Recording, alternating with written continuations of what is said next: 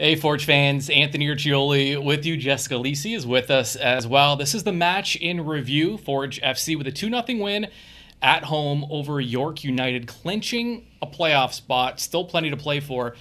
This one was it was a funny game. It wasn't the start that Forge wanted, and it wasn't until the second half that they really got going, I thought. Yeah, this was definitely a game of two halves. You know, first half, Forge came out, they looked a little slow, it was a little sluggish. York definitely looked like they wanted it more, especially within that first 20 minutes or so. Um, as the match went on, obviously they came out second half. Um, they were able to, to bury two goals off those set pieces, mm-hmm. but their energy was a lot better within that second half. So yeah, definitely, definitely a tale of two halves, I, I would say. Yeah, and it, it's and also two teams playing for different things. So Forge had something to play for. Right. York a little maybe more loose. Uh, they had already been eliminated from the playoffs, more so playing for pride. They looked like a team playing a little more loose. I know one thing. Um, Forge coach uh, Bobby Smyrniotis, who we'll hear from shortly. Uh, we're also going to hear from uh, Malik Owolabi-Belewu, who scored his first ever pro goal here in the CPL. And we're also going to hear from David Choinière, who played his 100th uh, match today. But um, Bobby likes them going forward. You hear him yelling it. You can hear it on the broadcast. forward, forward, forward. He always wants to go forward. But Forge was doing a lot of kind of stop, turn, back to the defense, and trying to play out the back and a little slower. And that's not how Forge plays. You wonder if that's a club that was just a little more, um, didn't want to make a mistake, maybe playing the careful pass by going backwards. And so maybe that reflects the fact that Forge had a little more on the line. There was a lot more pressure on them. Yeah, definitely. That that for sure played you know played a role in, in the midfielders playing it safe. A lot of times you did see opportunities for those midfielders to go forward and take their space and create those attacking opportunities, but they felt that it was a lot safer to play back to their mm-hmm. center backs or perhaps their goalkeeper. So you did see that a lot, and, and it did really you know play into their poor performance within that first half. But they definitely did pick it up in that second half and, and were able to create a few more chances. Not to say that you know they had a few good chances chances in that first half, but it, it definitely wasn't their cleanest. All right, let's go down now and listen to Forge coach Bobby Smyrniotis and get his thoughts on the match. Just your thoughts on the match from start to finish, your kind of summary. Yeah, two different halves.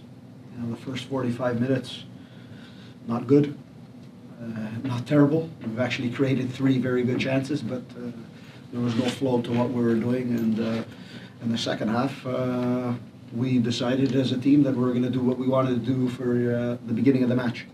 Thought uh, we were very good, very good on the ball and our movement, and uh, that created a lot more for us and allowed us to dictate the play of the game. Yeah, so Bobby not thrilled with the first half either, and second half they, they really got going. Triston Henry made a huge stop right before the end of the half, and that's one of those you make a note of that one because if that goes in, it changes the yeah. second half completely. But he makes a big stop, and then Forge was the better team um, in the second half. Uh, Malik scoring his first ever goal as a member of Forge, the, the center back. And um, he spoke post match, but before we listen to him, Bobby talked about the fact that that header he scored off a set piece, and we'll talk more about set pieces uh, in a second. That's something he does a lot in practice in training. Um, he gets up a lot. He, he's he winning those battles in the air as a center back is are important, obviously you think more so on the defensive side, but um, to be able to score goals as well. So here's Bobby talking about Malik's goal post match. Yeah, with uh, Malik, uh, one thing's for sure, he uh, scores a lot in uh, in training off of set pieces. He's the guy that picks up uh, everything, whether it's uh, the first ball, the second ball, the rebound. Um, he's got hunger for it, so it's it's great that he's gotten that goal.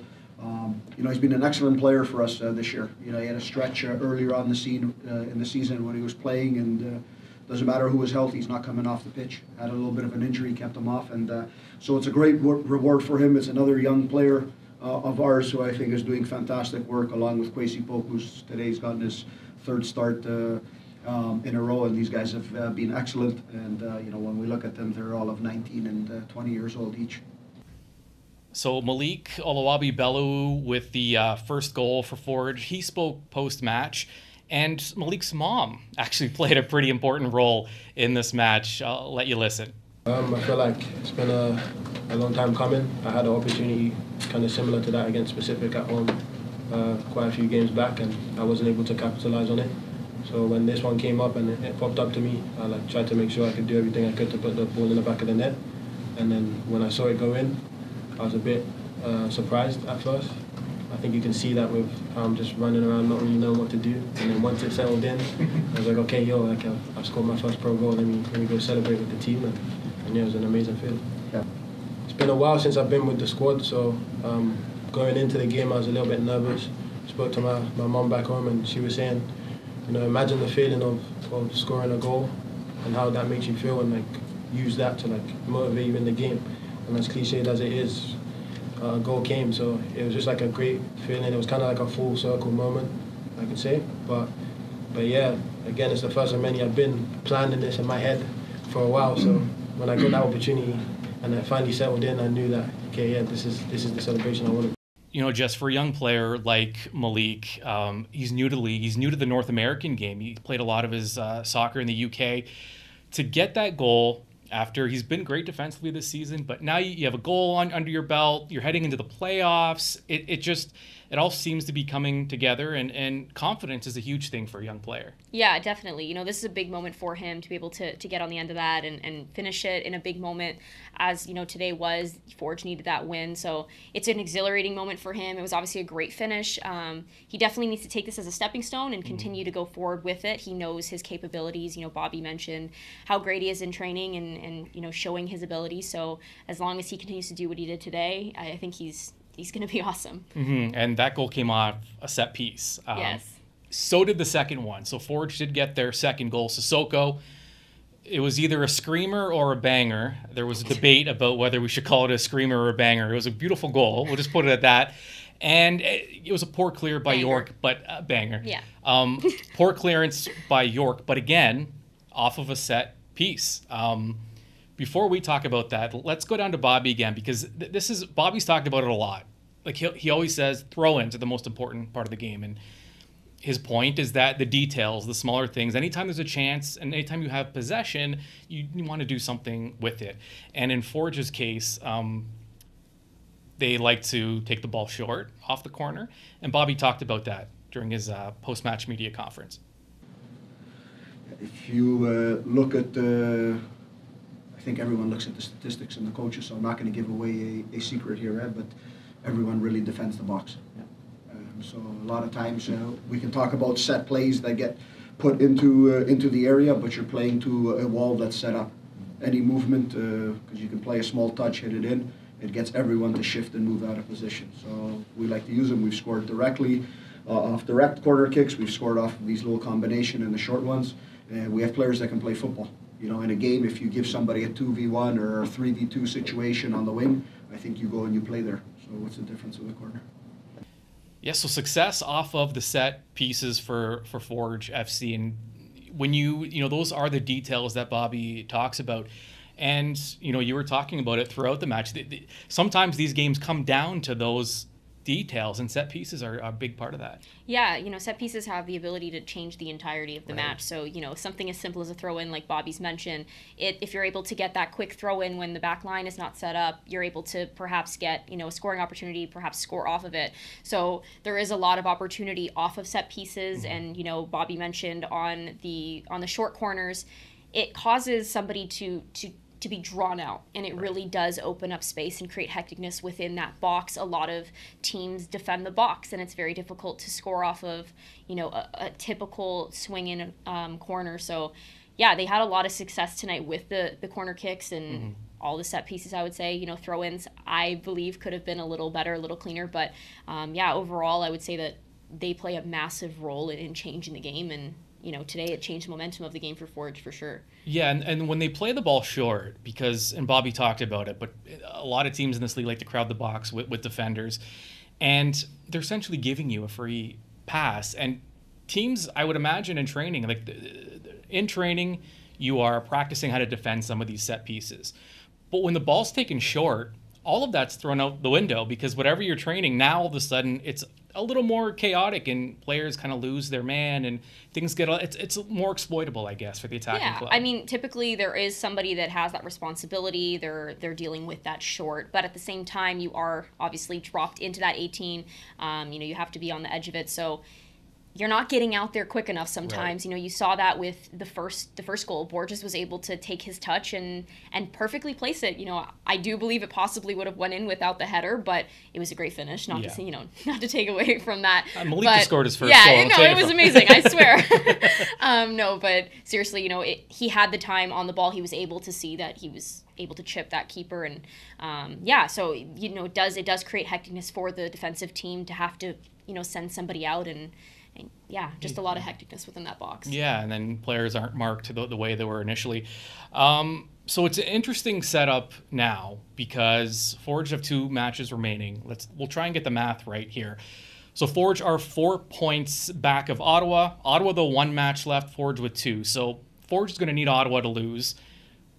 Ottawa's last match against York uh, this weekend at home. So York could play a big role in Forge getting that top seed if they can beat Ottawa and, and do Forge um, a favor. And like we saw, I mean, York still has plenty to, to play for. This is the kind of league, just it's the nature of it. There's always something to play for because these players, they're playing for their careers, for their livelihoods, for uh, if they have aspirations beyond the CPL. You never know who's watching, as I've said before. So there's always something to play for, and it's the last match of the season. This might be a player's last opportunity to, to showcase what they can do for next year. So, yeah, the motivation has to be there regardless. Yeah, absolutely. You know, whether you are making it into the playoffs, you're fighting for a top, you know, two spot. For example, as Forge um, was tonight, if they didn't get the win, it would have been, you know, a massive upset in a sense. York came here and yeah, they're they're playing for pride. They're right. not they're not. There's nothing really on the line for them. But at the same time, as a player, you know, it's never it's never right to say that because you Right. come out every day and you put your body on the line and and you're fighting for.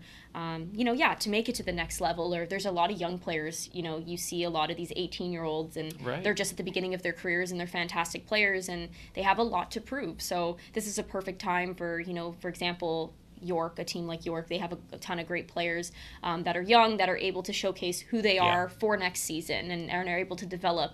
Um, so yeah, I definitely think regardless of the position you're in, there's always there's always something to fight for. Yeah, it's not like these are athletes that have signed, you know, eight year deals and are just trying to get through the last game without getting hurt for next season. It- Right. They might be playing for a contract next season. So this is a big match for Ford or for York rather, and for Forge because I'm sure they'll be watching because um, the York Ottawa match is on Saturday. Forge's final game is on Sunday against uh, Halifax. Mid match, or excuse me, midweek match for Forge against Pacific. That's Wednesday night. Um, I do want to throw down though to uh, Captain.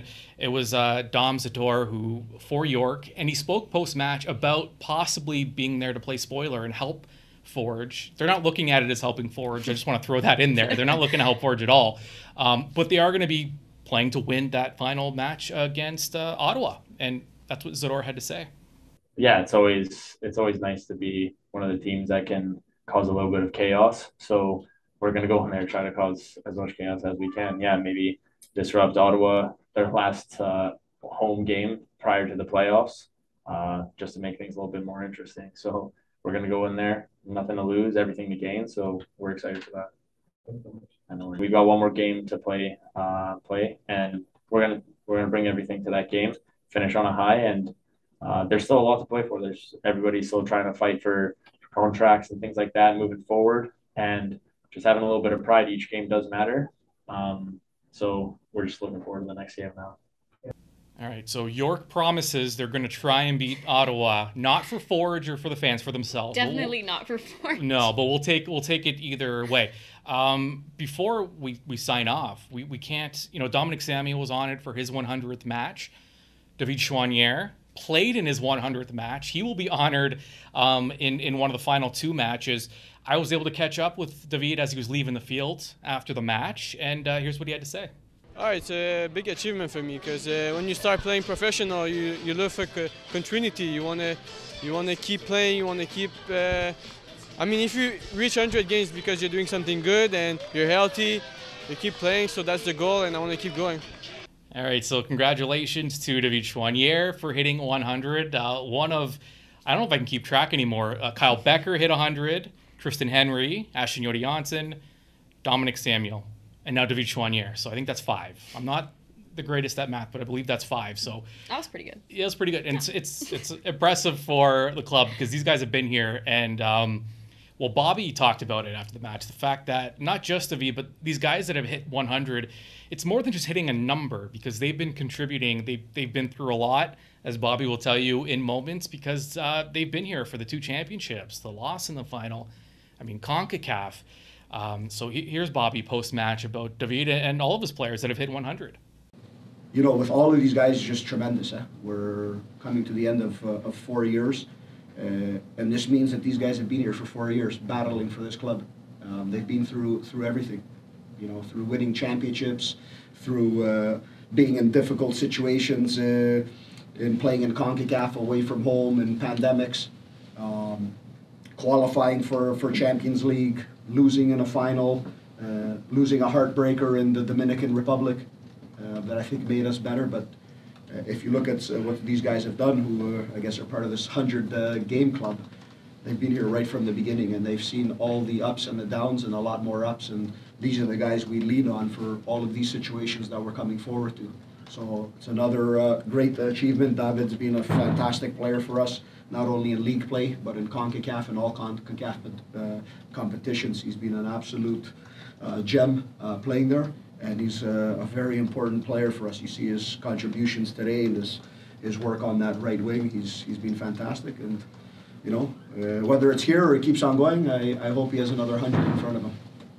All right, so your final again from Tim Hortons field here in Hamilton, two nothing in favor of Forge FC. They clinch a playoff spot. I don't even know if I mentioned that up the top, but it's because I'll tell you why. Forge will tell you over and over again. They have higher aspirations maybe they haven't said this, but I'll say it for them. I think making the playoffs was kind of their bare minimum in terms of goals this year. They have bigger goals for sure. So, two more matches left, both at home. Wednesday against Pacific, Sunday against Halifax, and you're probably going to keep your eyes on that Saturday match between York and Ottawa. That's the match in review. I'm Jess Lisi. I'm Anthony Urciuoli. We'll talk to you soon.